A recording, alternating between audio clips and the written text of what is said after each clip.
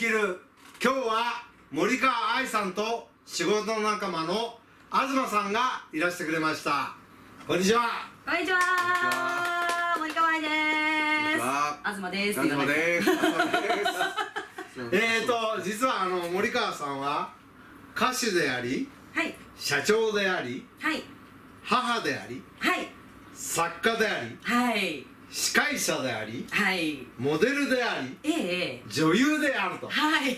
すごい マやルチな。多すぎ えーと化粧品の会社をはい。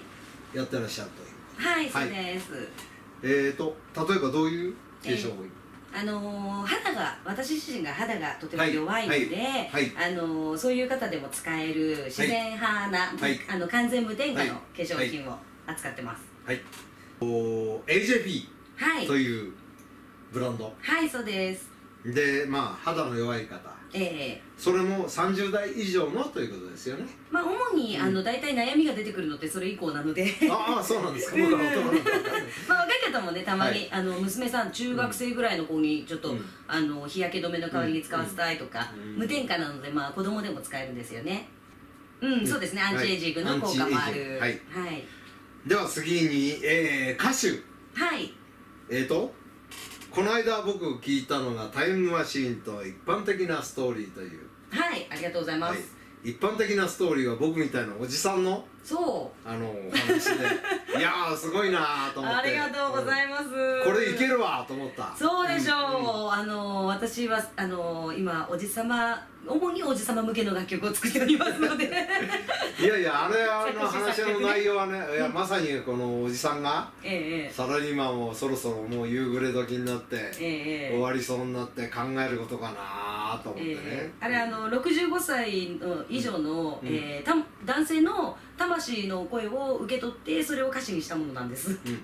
あのその魂の声ってのが読めるんだって、あそうあの、うスピリチュアル能力がありまして、うん魂のメッセージを受け取って、うん。そのままお伝えすることができます。ちょっといた子みたい。あー。いや僕のもこの前ね ちょっと、うん。あそうそうそう。なんか前世が分かる。前世が。なんか牧師牧師じゃないなんだっけ？神父さんっつってたそうそうそうそう司祭でしたね。ああ、うん。なるほど、うん。また言ってる。えなんか言ってる？うん。あのね言ってくれたって、うん、教えてくれました。そして作家。はい。作家っていうのは？はい。うん。えっと、2年前にですね、はい。あのまあ、とある出来事をきっかけに、あの小説を執筆いたしまして、でその小説が、まあうん。あのとっても面白いものができて、うん。でえっと映画業界の方にお見せしたところ、うん。まあ、本さえ出版すればあとは映画にするのはあの俺たちがやるからと。じゃあ映画化すると？はいそうですそうです。いや僕も読みましたけども。ありがとうございます。立命の記憶、はいえー、外国にまで飛んでいくのが舞台でね、そうそうベトナム行ってうんタイ行って帰ってくる、はい。はい。それが一番最初の出来事ですね。ですね。はいはい。まああのー、ページ数が結構あるので、そうですね、そうそれをね1週間で書いたんですよ。おおそれをまたご好評いただきました。うん。そこは才能だわって言われました。あれですかこうタイピングでやったんですか？あそうそうパソコンはもともと得意なのでうん、あの入力するのはまあ、うん、早いですけど。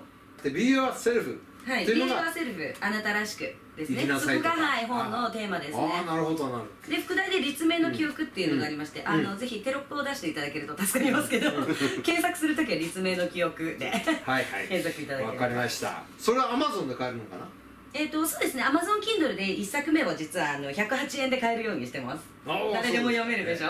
まあ僕も買いましたけど。ありがとうございます。ありがとうございます、ちゃんとあの課金されてると思います。ありがとうございます。それはもう、あのーあくまでプロモーション用で、はい。えーと2作目の方を出版する予定です、あその後があるわけね。はい。前後の話がありますね。私は今回1作目は真ん中のお話を書いてます、うーん。じゃあ映画にするっていうのは？映画にするのはその前後も含めてあと,、えー、と私の心情とうん。彼っていう、まあ、私と彼とうん。のお話なんですけど、私の心情と彼の心情、うん。両方書いたもの。うん。で2人の過去からうん。未来までのストーリー、えっ、とうーん東さんそれでえっ、とはい。仕事仲間なわけですよね。はい。森川さんと、はい。はい。えー例えばどういうこう出会いだったんですか？その。出会いです。はい。出会いはフェイスブックで、うんえーまあ、あるフェイスブックとコミュニティにえ一生懸命、はい。あの質問に答えてる森川さんが森川さんがいたので、はあすごい人い一生懸命だなと思って、フェイスブックでメッセージしてお友達申請した。はい、はい。メッセージ送ってからですね、えーはい。おそう。あの時ねたまたまタイミング良かったんですよ、うん。私のメッセンジャーって、うん。うん。あのいろんな外国人とかもうすっごいたくさんの人から毎日毎日「はい、How are you?」とかなんか花の写真が届いたりとかまあものすごいカオス状態なんですけど、はいそうなる少し前ぐらいのタイミングで連絡をくれたので、うんと思って開いたんですよね。あれ多分な1か月か2か月遅かったらあの私知らんって 言ってシャって見ないで閉じちゃってただからとてもいいタイミングでご連絡をくださいました。こういうのが多分運やっぱりもうとかはい。縁ですね。エンカウンターってやつです。うんエンカウンター。エンカウンター。あでまたそのあと仕事を一緒に始めてなんかエピソードみたいなのあります？フェイスブックの、うん。えー前の印象あの前の印象と一緒ですね、一生懸お命ー全力、おーはいはい。全力全開もう 100%120% 水に出してるようなはい人はだなと今でも思っております、はいはい。すごいなっていう、いなるほど。い。や僕もこう初めてお会いした時にねやっぱりこうパワフルウーマン？それでもう彼女のその、えー本を買った時にねちょっとあのコメントがあるじゃないですかレビューが、はい。あれにちょっと書いたんですけど、あありがとうございます。あの体が麻痺しちゃってあうんあー。ALD か。ALD の障害の方の、ASD ASD じゃない。ALD だね。ALD の要するに脳みその方になんか特別なタンパクが溜まっちゃって、うん。体がもう身体障害の方そうですね、うん。はい、その、えー子供さんを持ってるお母さんのうん。人がいるんですね、うんうんうん。でその方もすごいパワフルウーマンなんですよ。おおそうなんですね。自分ですそれもう本当に難病なのにうん。日本にもほとんどないような病気なのでそれをあのー自分で NPO 法人立ち上げて、うん。いろんな人たちとねあのーそういう情報交換したりして結局いろんな形でねそのうん。今全国飛び回ってる本間さんっていうのがね。うん。そういう方とねそれとちょっとダブったんですけどもあありがとうございます。それほどパワフルウーマンなんで、パワフルなのかな？い。いやいや。私はよくわかりません。ただあのパワフルとはよく言われるんですけどなぜ誰も美人だとは言わないんですか？いやいや美人だと分かってるからあの言わない。本当ですか？私言われないとわかんないから言って言って。いや美人だよ。ありがとうございます。いや常識、ま常識っていうかお世辞お世辞。いやいやお世辞じゃない。あの当たり前のことは誰も言わないって。あそうなんですか？そりゃそうじゃないだって当たり前。そうなんですか、だって当たり前のことを、だって当たり前のこと言ったって何当たり前のこと言ってんのって言われるでしょ、そうなんだ。ええ私全く自覚がないし誰も言ってくれないからどんどん言ってください。だってモデルとか女優とかやってうん。やってるんだ人前に出るわけだし。まあだってね。芸能界であの言うとあのう綺麗な人たくさんいるから。いや別にその人たちを汚いとか言ってるわけじゃなくて 一緒に綺麗だなと思ってるだけの話だ同じぐらいとかそれ以上とか。ただそれだけの話だよ。ちょっと、うん。だいぶハードルが上がるのでそのぐらいにしといてください、はいはい。見たらあそうでもなくないってなっちゃう。なんかちょっとエピソードがあったらちょっとですけどあちょっと、うんえっ、とそうですね一生懸命エピソードとしては、はい。どうぞ森川さんの、うん。どんなにどんなことが一生懸命だっあのまあ音楽活動してる森川さんがやっぱりうん。いろんなうん。居酒屋さんとか、たうん。えー飲食店行って、うん。自分のポスターをうん。貼ってくださいと。そう、うん。もうどこ行ってもサイン書いて一生懸命店長に、お願いしますお願いしますっていうシーンは、うん。この、まあ、インターネットの社会でインターネットに携わってるのに、うん。そういうなんやもうアナログな忘れないところはやっぱすごいなっていう、おおなるほど。自分でインターネットの会社、IT の会社行ってなんかその部門もおったぐらいな人が、そのうん。アナログなところをやってるのはやっぱすごいなと思いまおした、お一生懸命だなと思いましたはいはいうん。それでも大事だと思うんですよ。あのだってネットのことを信じる信じないは人それぞれですしなまあネットで言われてることだしねとかネット上のことだからねと言って本当なのか嘘なのかの確かめようが少しないじゃないですか。インターネット上に書いてあること。そうですね。はい。でも実際に自分が足を運んでとか直接会って話をして生で目で見てということは自分の目で確かめてるから絶対本当でしょ？リアルですよね。そう。そのリアルなことがあの必要だと思いました、はいだって、はい。ネット上だけでいくらプロモーションしてもさ「森川愛」っていう歌手がさライブやるよって言ってさ会場にいるかいないか分かんないんでしょ？みんな。もしかしたら初めてかもしれない。でで 本物がいるのか分かんないしとかってな思うわけでしょ？ネット上だと、はいはい。だと直接会った人に。握手したらもうそう伝えたいですよ。だから私サインもいっぱい渡すよ。いや僕もねあのやっぱり両方必要だと思うね、うんうん。あのネット上でやっぱり宣伝するのもそうだし、うんうん。実際に足で歩いてね、うんうんうん。あの現実の世界でその、コマーシャルするとかね。そうそうそう。足を足を使うっていうのはやっぱり大切、うん、だからいつまでもずーっと多分ネットだけの中でこう過ごすのではなくってそこから一歩現実の世界に要するにバーチャルの世界界と両方ないとダメですそうですね、きっかけはバーチャルでもいいんですよね、うん。あとはリアルにどうやって踏み込むか、うん、引きこもっている方とかもいらっしゃいますしそう,、いう方はなんかね何かをきっかけに現実の世界に一度ね外の光でも浴びてみたらいいっていうね、いや僕もね精神病院入ってたんで、うんうん。やっぱりそのバーチャルの世界ばっかだったんですよね。バーチャルっていうか、頭の中で考えちゃう。そうそうですそうです。そうなるとあの人は頭でっかちにどんどんなっていってあの外の世界が少し怖くなりますよね、まあもう全然もう外出らんなくなっちゃったでしょでしょ。はいだからあの実際に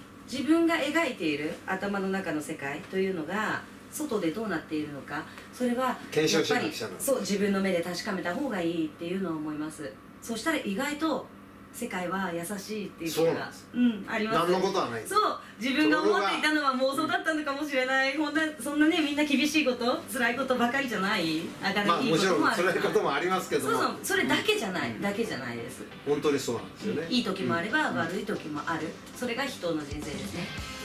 特に僕なんかバーチャルの世界ばっか入ってたんでバーチャルっていうかその頭の中でばっか考えてたんでねうんやっぱりそこでその労働をすることによってそのやっと現実の世界に戻ってこれたうん。それでまあ書きましうんそうですね。た、はい。えー作家としてはい。うん「Be Yourself」立命の曲はい。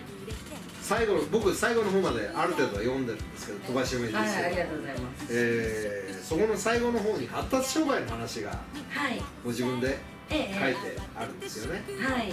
そこからちょっとまあ僕も障害者手帳も持ってるぐらいなんで、うん、まあそこら辺がちょっと気になるのでもしよかったら少し、まあ、そのことについても。うんうんまあそれはなぜかというとこの後また、えー第2部に続くのでちょっとそこに切り口を載せておきたいということがもしよかったら。はい。はい。そうですね、えっと、私は今回の書書いた小説はあの全ての障害を持つ方のために気づいてほしいことというのを、まあ、描いています、はいあのただの20年前のラブストーリーじゃない。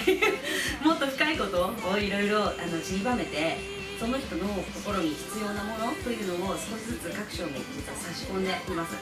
なのでこうあのどこかピンときたところだけを読むとかでもいいんですけどあの最終的にやっぱり障害自分に持っている障害精神障害でも身体障害でも発達障害でも全ての障害は私はあのそれは神から受け取ったギフトだと思ってます。だって乗り越えられる障害しか神は与えないんですって。そうだからその障害をまああの克服したり乗り越えたりあとうまく付き合っていったりっていういいんですよ別にあの無理して直そうとしなくたって。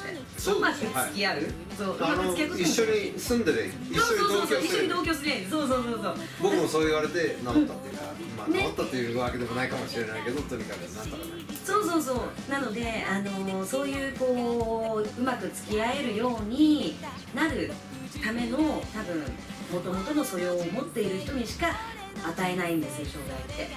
与えられない。それができるぐらいもともと魂は強いものを持っているからそうなった。ということだと思ってます。そうですね、人間っていうのは生まれる時に神様の前に行って私はこのぐらいの石を持って生まれます。うん。でもっとでかい石を持って生まれます。と約束してくるんですよ。うん。で僕考えたのはいやじゃあしょうがないなと思ったんですけどもいやじゃあ僕はこのねこうやって苦しんで病院に入った時苦しんでたので苦り死んでるんだからやっぱり神様の前でねすごいでかいし背負いますって言って出てきたんだなと思ってね。そうですよ、そうですよ。それでまあ辛ければ辛いだけ、多分もともと自分でそれを乗り越えられるのかもしれないという期待を持ちながら大きい石を抱えて生まれてきた、だからねそれでまあじゃあしょうがないかと言ってまあその現状をねまあ辛いけどなんとか生きようという形で本当だったら死んでたかもしれないんでそれが生きようという形でねなんとか治ったというかまあ世の中に出てこれたのねうん。あのー死んでしまったら全て終わりってよく言いますけれども、まあ、それは本当でただまあ生まれ変わることもできるんですけどあの自分で自ら死のうと思う前に大きすぎる石は一回自分で割ってみたらいいですよ。なるほど。でもやっぱでかかったなっつって。神様ごめんなごめんって。ちょっとでかいわ半分ぐらいに自分で割ってまた次進めばいいですよ。そ うじゃあ分割払いで。そうそう分割払いにすればいいです。そうですね。うん。であとはやっぱり一回倒れてもまた立ち上がることですよそうそうそう。その時にまたあのー自分がもう片方の片割れの石も持てるのかもしれないって思うい。や分割払いすれば持てますけどそうそうそうそう。ね。ということで今日は、えー森川愛さんと、えー東さんをお迎えして、えー取り留めもない話になりましたけども、えー一応これで香川亮の今を生きる終わりたいと思います。どうもありがとうございました。ありがとうございました。言えないけどそれが一般的なストーリー。それが一般的なストーリー。それが日本的